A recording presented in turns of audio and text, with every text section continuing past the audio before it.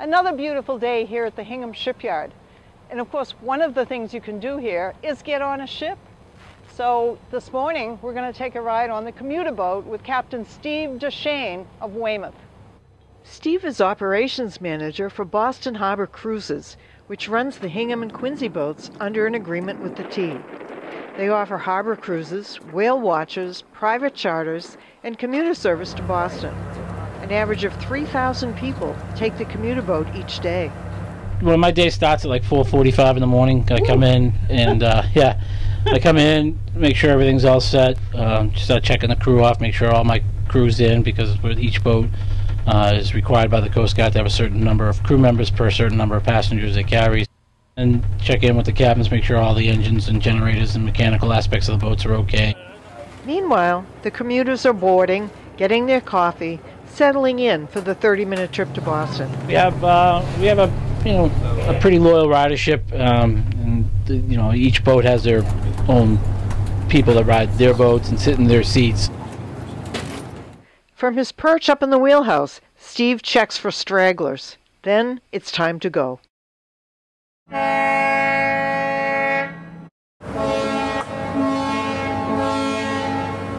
As we left Hewitt's Cove, Steve told me about the boat. It was built actually right here in Massachusetts in Gladding and Hearn down in Somerset, Mass. It's a, uh twin hull or a catamaran. Um, she's got four engines, and each engine drives its own water jet system. Uh, boat can top off at speeds of around 35 to 36 miles an hour or 33 knots.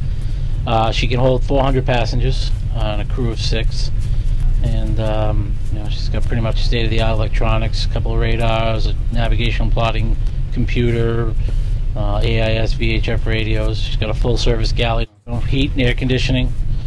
Uh, so it's a pretty pretty nice vessel. We have two of these. They're identical sister ships as this one, which is the Asteria, and then we have the Aurora. We're not propeller-driven like conventional boats. We're water jets.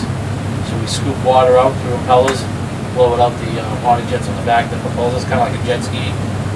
Commuter service, we operate out of Hingham. We operate uh, 52 weeks a year, Monday through Fridays. We're First boat leaves at 6 in the morning, and the last boat leaves Boston at 8.30 at night. Our on-time record with the MBTA is, is uh, I think, 98% on-time travel. Can't say that about the red line. Uh, no, no other commuter rail. As long as I've been with this company 13 years, I think we've only shut down about three times. One was due to thick ice, and the Coast Guard kind of got broke, uh, got stuck, so they couldn't get through. Uh, the other time, the captain of the port for the United States Coast Guard shut the port down due to a blizzard. There were no thoughts of a blizzard that day. The weather was perfect. We came through the Westcott by Peddocks Island, then past Boston Light. As we approached the Long Island Bridge, Steve asked one of the crew to take over for a few minutes, and we sat down to talk.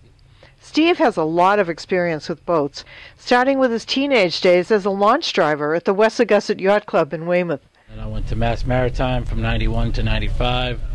In the meantime, I've worked charter boats through Mass Maritime and then got out of Mass Maritime, worked tugs in New York City, Wow. worked on a cable ship for a while in the Caribbean. I worked a couple of years for Transocean on a drill ship in the Gulf of Mexico. What brought you back to Boston? Uh, family, family home, you know, Monday through Fridays running. Steve even met his wife, a naturalist, on the boat. She, Yeah. she used to be a naturalist. That's how we met. We I was a whale watch captain and she was a naturalist. How romantic. oh yeah. Now she's actually director of youth development for uh, the New England Aquarium. Uh, this year we uh, entered a partnership with the uh, New England Aquarium, and uh, now we're um, we do our, our whale watching with them as a partnership. So how late in the season do you do the whale watching? Uh, we run actually probably late March all the way through to late November. Wow. Uh, as long as the whales are there and the passengers are coming, we're going. Probably 95% of the time uh, we see whales. Uh, it's been it's been a pretty good season.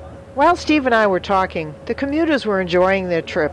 Some read, some worked, some socialized, some just enjoyed the view. Marina Park One. And We were getting closer to Boston, so Steve took over the wheel. The commuters started gathering their belongings and lining up to disembark.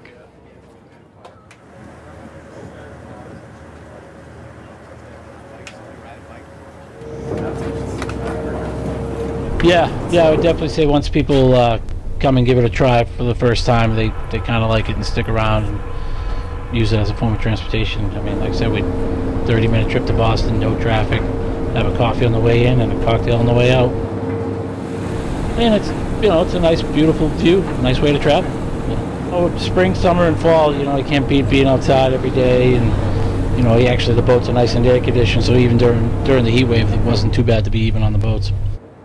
I barely had time to admire the big boats in the harbor before it was time for the return trip to Hingham.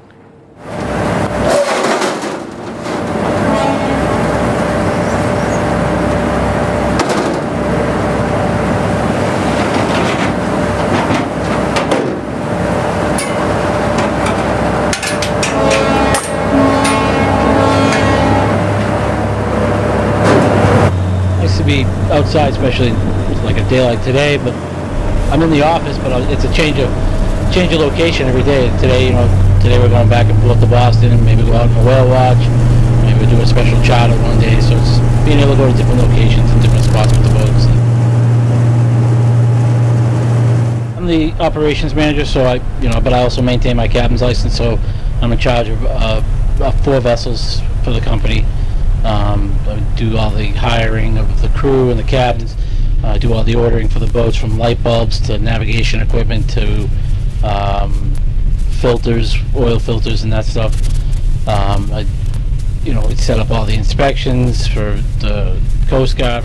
All three boats that are in Hingham uh, are due for hull inspections every two years. They have to be hauled out and inspected by the Coast Guard, so I got to line that up. It's a busy job with a lot of responsibility. But just imagine spending your workdays out on the water, as Steve does. It sounds good to me. Before I knew it, we were back in Hingham, ready for the next group of commuters. Then Steve was off for another trip. I'd take it if I had to go to Boston every day. I love it. For more information on the boats, visit their website, bostonharborcruises.com.